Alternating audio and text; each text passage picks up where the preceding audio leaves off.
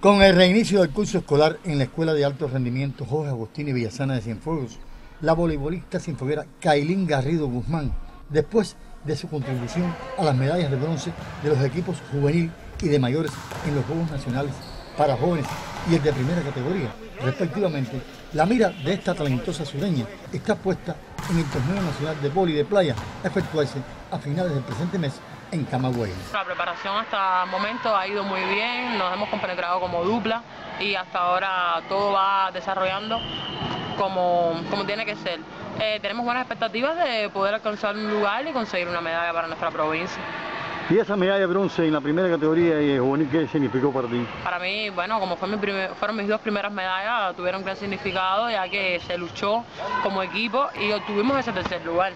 Aunque las expectativas sobre el equipo de Cienfuegos estaban bajas, nosotros supimos salir adelante y poderle traer una medalla a nuestra provincia. El voleibol cienfueguero, sin muchos ruidos, continúa aportando figuras a equipos nacionales.